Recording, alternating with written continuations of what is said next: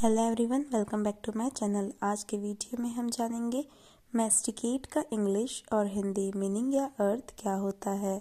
Masticate इसका हिंदी अर्थ है चबाना, दांतों से कूचना, चरवण करना।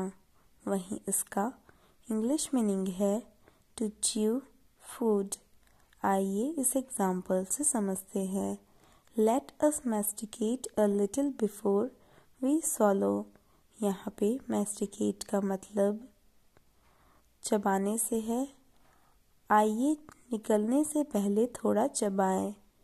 Hope you understand the meaning of masticate आज के वीडियो में इतना ही।